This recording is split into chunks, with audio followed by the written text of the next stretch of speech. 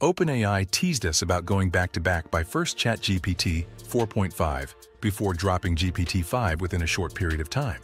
What seems to be even more exciting about this sequence of releases is that GPT-6 promises to be the most advanced update released by OpenAI at this point in time. Let's take a look at exactly how grand this GPT-5 will be, how it will change the way we all make use of this new update, and perhaps most importantly, the problems we may face when it comes to using this exciting update.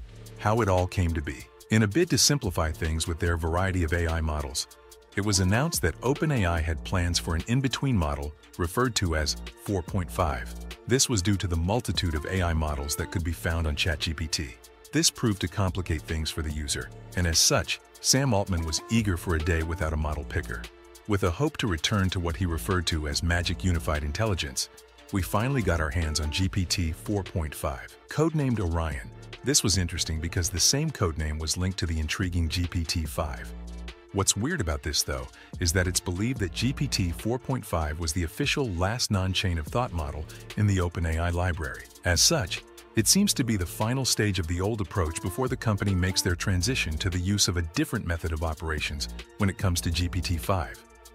This is fair enough because even though it is more advanced than GPT-4, it still has some shortcomings.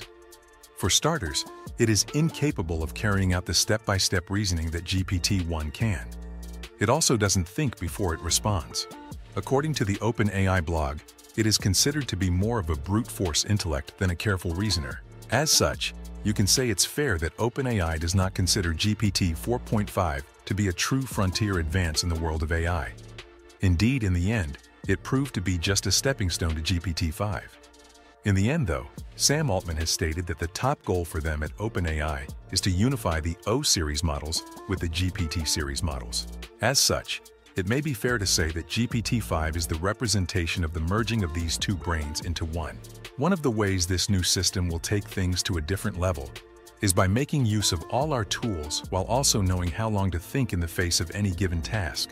As such, we can see how GPT-5 would be useful for a wide variety of tasks. Maybe this is because it will be making use of the most advanced reasoning module in its core. In a bid to carry out the merging of the O-series model with GPT models, OpenAI revealed that Zero-3 will be part of GPT-5. Indeed, they have revealed that they will not release Zero-3 as a separate model any longer. This is exciting stuff, especially as the rumors have it that GPT-5 could be released as soon as the spring or the summer.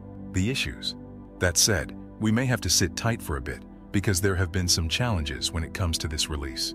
Already rumored to be falling behind schedule, things may be tense over at OpenAI because the work with this new AI model has already gone over budget. To be honest, that must be easy as each training run for GPT-5 is said to cost as much as $500 million.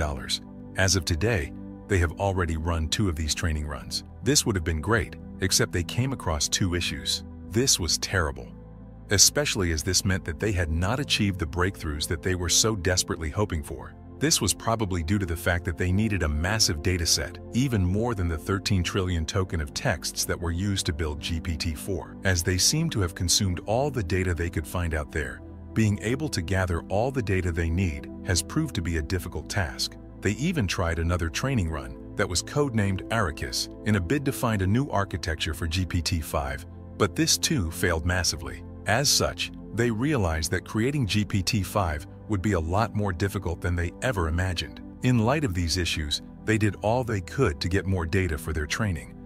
They even tried to create fresh data. Sure, there were several hitches along the way, but right now, OpenAI is taking every step that they can to achieve GPT-5.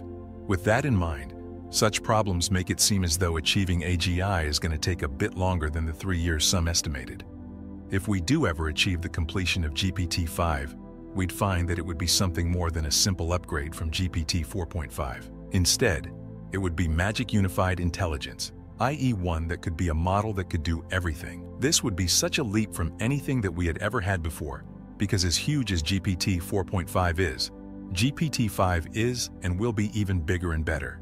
GPT 4.5 was no slouch though. It was OpenAI's biggest model, while it had deeper world knowledge and higher emotional IQ than previous versions of the AI model, GPT 4.5 also displayed the limits of brute force AI expansion. Even worse, it was beaten out by smaller models that were built for step-by-step -step thinking. Solutions. To solve such issues, OpenAI hopes to make GPT-5 better than its predecessors by blending the best of both worlds. They figure they can do this by combining the massive base from the GPT-4 line with the focused step-by-step reasoning of the models from the O series. This process of step-by-step -step thinking is often known as chain of thought reasoning. It's almost like seeing the work done by the AI before it gets to its answers. What makes this interesting is that even though some of the models in the O series made use of this step-by-step -step reasoning, they did not have the massive knowledge that GPT 4.5 had. As such, we can see how exciting such a prospect as GPT-5 as OpenAI is, hoping to create a model that can reason directly while being as broad and as flexible as GPT 4.5. The architecture. One of the awesome things about GPT-5 is that it will automatically be able to pick between giving quick responses and showing detailed responses. It's probably able to do this because of its interesting and novel architecture. One of the ways they hope to achieve this is by making use of a combination of experts architecture. This, in essence, means that they will be making use of a number of specialized mini-models within one huge AI model. This has the possibility of pushing the entire parameter account into the trillions. Multimodal integration. Looking to take things even deeper than other models, GPT-5 will be able to handle everything from texts and images to audio and video files. It can even handle all the different types of files in one seamless interaction. Add the fact that fully integrated voice and audio is guaranteed, and users will find that they just can't get enough of this amazing new AI model. Is GPT-5 AGI?